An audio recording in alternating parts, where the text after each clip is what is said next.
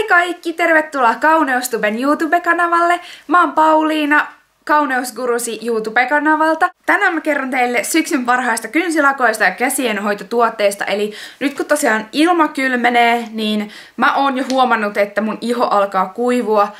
Ja etenkin kosmetologina mä tiedän, että se on tosi yleistä, että ihmiset valittaa sitä käsien kuivuutta ja menee mieluiten käsihoitoihin. Kesällä kädet on ollut tosi ihanat ja kosteet, mutta nyt sitä käsirasvaa tarvitaankin. Ja joten mä aloitan näistä kosteuttavista tuotteista tai käsienhoitotuotteista, joita mä lämpimästi suosittelen teille kaikille käytettäväksi, jos te haluatte pehmeimmät ja kosteimmat kädet nyt näin syksyllä ja talvella. Eli ihan ekana, kun mä huomaan, että oi oi oi, nyt mun kädet alkaa kuivua, niin mä kuorin ne. Eli kuorinnalla saa sen kuolleen ihosolukon sieltä käsistä pois ja kaikki tuot, muut tuotteet imeytyy sitten paremmin. Ja mun ehdoton lempari käsikuorinta on tällainen Lumoava Lady-niminen käsikuorinta. Tässä on kaksi faasia, eli kaksi kerrosta. Tässä on tällainen öljykerros ja sitten tämmöinen suola- tai sokerikerros, mikä on se kuoriva osa. Ja tätä otetaan sille, että kädellä otetaan vähän sitä öljyä, mutta enemmän sitä kuorivaa osaa. Ja sitten sitä vaan hierotaan käsiin muutaman minuutin ajan. Ja kädet on ja sit huudellaan tietysti pois. Mutta kädet tuntuu niin paljon pehmeämmiltä tämän kuorinnan jälkeen. Mä oon saanut kaikki mututtavat tähän ihan koukkuun, että mä oon ainoa se, hei kuorikaa, kuorikaa kädet, että että kun moni ei ole ikinä kuorinut käsiä, niin sitten kun ne eka kerran koittaa tätä, niin on se, ooo, mun kädet ei ikinä ollut näin pehmeät. Ja tosiaan kuorinnan jälkeen kaikki tuotteet imeytyy paljon paremmin sinne käsiin. Ja kynsinauhot on yleensä tosi kuivat ihmisillä ja mulla etenkin, jos mun kynnet, kynsinauhot on kuivat, niin mä alan repimään niitä. Ja sitten niistä alkaa vuotaa verta ja ne näyttää ihan kauhealta. Ja mulla on kaksi eri vaihtoehtoa, että miten kynsinauha saa kosteutettua tosi tehokkaasti. Ihan ensimmäisenä mulla on kynsinauhaöljy. Ja tää kyseinen yksinä on Sally Hansenin kynsinauhaöljy, mutta mä voin ihan mikä tahansa kynsinauhaöljy kelpaa, että ei tarvi olla just tää Sally Hansenin. Nämä on yleensä tosi tehokkaita kosteuttamaan kynsinauhoja, mutta mä itse en oikein pidä öljystä. Mä tykkään enemmän kynsinauhavoiteesta. Ja tää, mitä mä todella suosittelen, on Birch Bean, tällainen kynsinauhavoide. Tää tuoksuu ihan sitruunalta ja tää on niin hyvä. Mä oon, tää on ehkä mun kymmenes pakkaus. Mä en edes liiottele. Mä oon ostanut näitä niin monta. Mulla on aina laukussa yksi ja mun yöpöydällä yksi, koska tää on ainut keino, millä mä saan mun kynsinauhat pysymään tosi kosteina. Ja mä oon koittanut varmaan kymmeniä kynsinauhavoiteita, mä aina palaan tähän. Kuten näette, niin tääkin on ihan loppu, mutta tää normaalisti näyttää tuolta. Ja tää tosiaan tuoksuu ihan sitruunalta, voin lämpimästi suositella.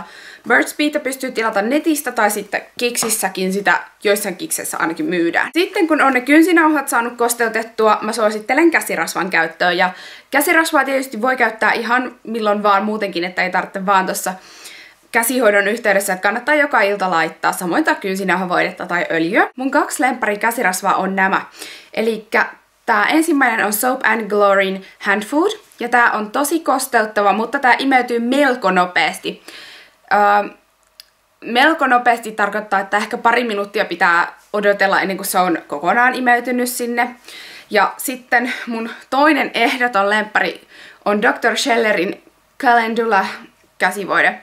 Ja tästä mä sanon, että tää on semmonen, että kun aamullakin herää, niin vielä tuntee tämän käsissä että tämä ei imeydy ihan niin nopeasti, mutta tämä kosteuttaa todella todella hyvin.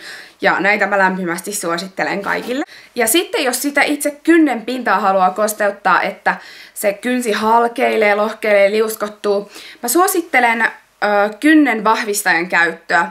Tää on OPI Nail Envy, ja kuten huomaatte, niin mä oon käyttänyt siitä aika paljon lähes kaiken.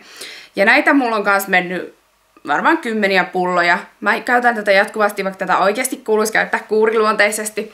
Mutta tää tosiaan kovettaa kynsiä, auttaa niitä kasvamaan pidemmiksi ja Tää on aivan loistava tuote. Tätä mä suosittelen aina kaikille mun asiakkaille, jotka sanoo, että heidän kynnet liuskottuu. Ja sitten viimeisenä mulla on vielä muutamia kynsilakkasuosituksia. Mä aloitan tällä Lumenen uudella syyskokoelmalla. Tää ei ole mitenkään sponsoroitu tai mitään, mutta mä oon vaan niin ihastunut tähän kokoelmaan. Nämä on ihan täydelliset syyssävy. Mulla on tällä hetkellä just kynsissä tätä 189 Velvet Night sametti yölakkaa ja tää on matta. Nämä on kaikki siitä Gel Effect-sarjasta. Mä en ole laittanut tähän mitään päällyslakkaa, joten tässä näkyy tää, että miltä tää näyttää. Todella ihana, tykkään tästä tosi paljon. Sitten on 170 Vintage Wine, tummaa viiniä. Ja tosiaan tällainen ihana viininpunainen. Mä oon ihan rakastunut tähän sävyyn. Tää on ehkä mun suosikki näistä kaikista. Sitten on tällainen pikkusen hempeämpi 113 Rosewood ruusupuu. Tää on mun mielestä tällainen puuteroitu ruusu, jos mä kuvailisin tätä nyt ihan omin sanoin. Ja viimeisenä on tällainen selvästi vadelman värinen. Tää on, no okei, okay, tässä lukee 118 Velvet Plum syysluumu, eli no luumun vadelman, mitä näitä nyt on. Tällainen ihana violetihtava väri. Sitten mulla on vielä kolme muuta kynsilakkasuositusta. Kaksi niistä on Essieltä. Ja nämä on itse asiassa Essien kevätkokoelmasta, mikä huvitti minua, koska silloin kun mä näin nämä Niin mä ajattelin heti, että ai, ihanat syyssävyt. ja tota, ensimmäinen näistä on Flowerista.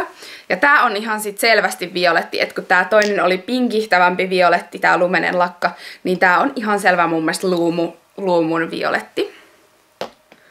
Ja sitten toinen on tällainen harmaan, sinertävän harmaa, ja tää on Pedal Pusher. Ja sitten viimeisenä joulua kohti mennään. Punaiset kynsilakat on aina in, ja tää on tällainen ihana helmiäinen punainen, ja tää on nimeltään Just Be Close, ja tää on China Glaceilta. Tässä oli mun syksyn kynsilakka ja käsien hoitotuotesuosikit. Toivottavasti saitte tästä videosta jotain apua. Kiitos tosi paljon katselusta ja muistakaa tilata Kauneustuben kanava. Moi moi!